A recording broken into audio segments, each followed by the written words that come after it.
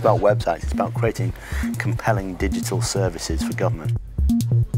I wouldn't say that being open is a radical approach to government. I say it's the natural state of government. You've got an approach to open data where the British government is now the world leader.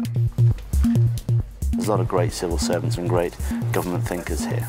This is the new civil service in the UK. This is how the civil service works in the UK.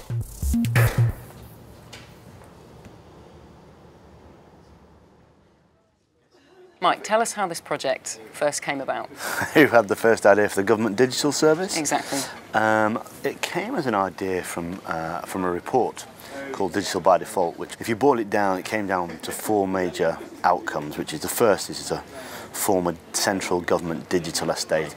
The second thing was then to fix publishing, to start to start fixing this issue of indiscriminate publishing that government's been doing for 15 years, then to get onto the meaty issues of sorting out transactions and making transactions work better for, for citizens and businesses, and the final bit is what we call go wholesale. It's via APIs and uh, other such magical wizardry is to open the whole thing up. It's designed around the user, not around the needs of the, the, the desires of the government. And that's tended to be the case in the past. Previously, there were literally thousands of government websites.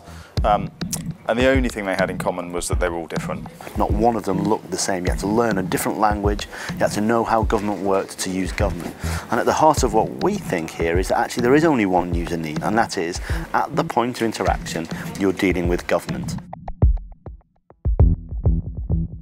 Prettifying uh, is not what it's about. I'm thrilled that gov.uk won this incredibly prestigious design award, but that wasn't about what it looks like.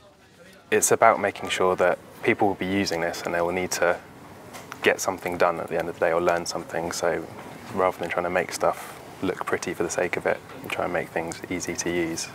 Jordan, tell us what you do at Government Digital Service. What do you work on? Um, so I work on gov.uk uh, and more specifically, I work on the mainstream team. So you'll see the things that we do, like when is the next bank holiday, or what is the VAT rate. So um, if you go to gov.uk and type in bank holidays, yeah, um, you'll see UK bank holidays here.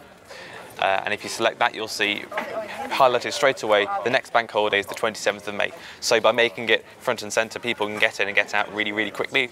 Has there been anything particularly surprising or enjoyable or distressing that you've worked on since you've been working on this project? So um, I, I, was surprised at, um, at, how open we've been able to be. All the code that we write is published online, um, so other people, we've had other governments around the world who've, who've made use of it, which is really good to see. Increasingly across government now, more and more civil servants are recognising that the value of being open, the value of talking to people, vastly outweighs the risk of being tight-lipped. And it means embracing the fact that you share what you're doing with people outside because they might be interested or importantly they might find value in it but you don't realise you're offering value yourself. We've really taken the language and the, the cultural behaviour of many web-based companies and adopted it to government services. The heart of the internet generation is that you try something, you get users to use services, and then you iterate really quickly. And that's very different from how government services have worked in the past. Typically, the way we've done these things is you enter into a big contract uh, where you expect to specify everything at the outset. Then you have to go through an endless process of an outline business case, a strategic outline business case, a full business case. Take about six months to write, in some cases over a year. Then we put it out to procurement because of procurement rules. That might take another six to nine months to actually buy something. By which time it will almost certainly be out of date. You're locked into a supplier and it's really expensive to, to make changes. So what we've got to do is move from the language of procurement and you've got to start thinking of commissioning where you're actually changing stuff really, really quickly.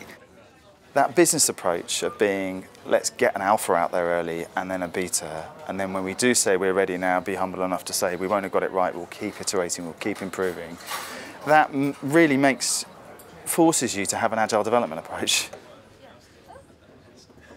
We have uh, a quite incredible wall in front of us. And this is a well-established system of managing projects. Yeah. Um, it's part of the Agile development system. So tell us how it works. So we're, we're borrowing a lot from Kanban methodology. So it's a, it's a lot about managing workflow. So at GDS we have an awful lot of work streams. We have a lot of work going on. But once you start to put stuff up, you can really visualize what's going on. So you can see uh, we have a lot of things in this column here, and we know that that's probably a bit of a problem. So we can actually start to address that. Well, show us an example card. Okay, so this card here, which is something that's in delivery right now, it's uh, some work that we're doing on improving search across Gov UK. It's a, it's a high priority project.